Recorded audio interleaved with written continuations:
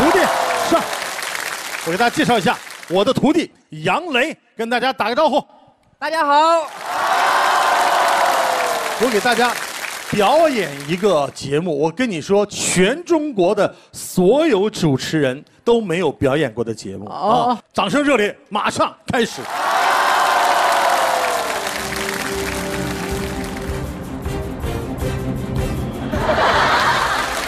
哎呦，这师傅好厉害呀！这个节目的名字叫接吻我告诉你，就你这节目根本不用你配合啊，啊！后边放个狗熊都可以接着。这 么简单的，你还是师傅啊？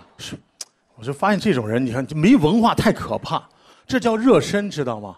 节目都有序曲，知道吗？活动活动筋骨。哎，知道吗？咱们要演呢，就要演让观众看完了之后叹为观止的，就是太绝了啊！大家都得挑大拇哥才行，好吗？好要不然就别演啊，我们就不会演那种不叹为观止的节目啊。啊，比如说接碗啊。好，来吧。这不就是桌子上晃板吗？哎呦，那能是一般的晃管吗？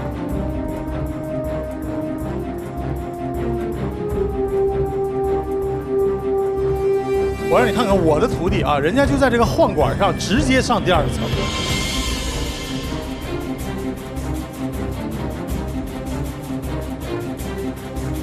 直接在上面，大家看啊，准备要上去了，哎怎么上？怎么上呢？哎掌声！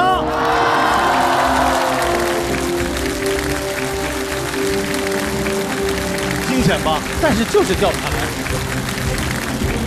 两层木板了。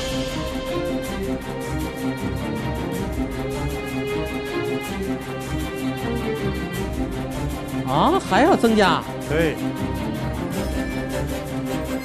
关键难就难在，他可以站在第二层，然后脚不落地，哎直接站到第三层。一般人是不可能在哎呦。！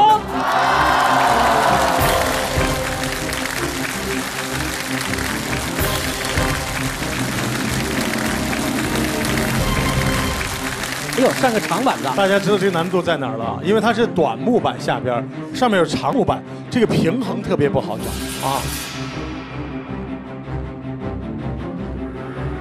你还别说，我觉得是这个是有点难度了。来，掌声在哪里？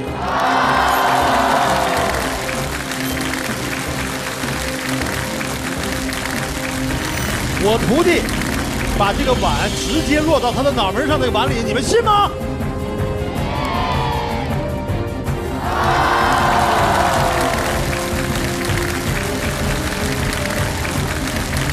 这个的确有难度。